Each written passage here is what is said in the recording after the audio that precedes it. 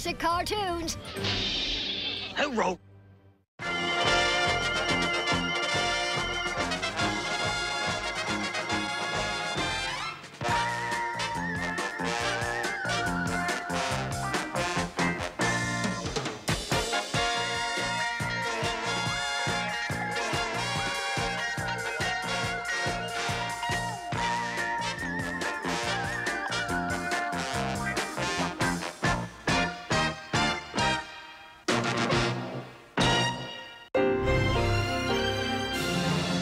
This is MeTV Tunes. Come on, see for yourself.